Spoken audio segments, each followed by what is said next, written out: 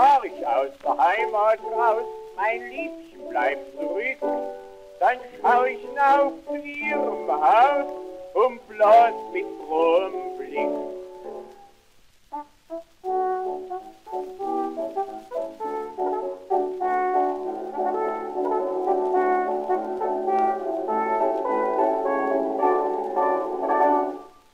wie gesagt, ich bin ein sehr fideler Postillon. Das heißt, ich stamme aber auch schon aus so einer fidelen Familie. Mein Vater, das war nämlich ein Werkmann, meine Mutter war ein Blumenmädchen, ich Postillon und mein ältester Bruder, das ist ein Naturforscher. Nee, das war, mein Bruder, das ist ein richtiger, wirklicher Naturforscher. Der sammelt nämlich alles, was er findet. Und auch manchmal das, was die Leute noch gar nicht verloren haben wie, wie vor kurzem. Da kam mal mein Bruder von der Naturforscherei zu Hause. Da, da hat er einen Strick gefunden und da hing eine Ziege dran. Das heißt, die, die haben es aber wieder abgenommen. Dann auch wieder mal, da kam er von der Naturforscherei zu Hause. Da, da hat er ein Pferdehufeisen gefunden.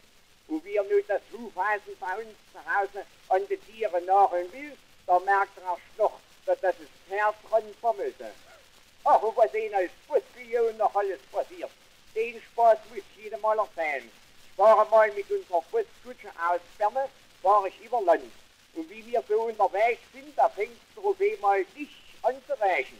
Und, äh, und auf einmal, da fängt doch, guckt doch der Passagier zum Fenster raus und sagt, Sie, Postillon, hier lebt doch Wasser in der Kutsche. Wie ist denn das immer so?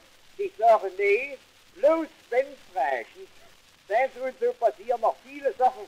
Da, da werde ich Ihnen jetzt mal ein Liedchen vorsingen. Da passen Sie mal auf. So fahre ich immer wohlgemut hinaus in die Natur und schwinge lustig meinen Hut, bin guter Dinge nur. In Lüften singt die Lerche dann, es hebt sich meine Brust und ich fang schnell zu blasen an, das Liedchen voller Lust. Thank you.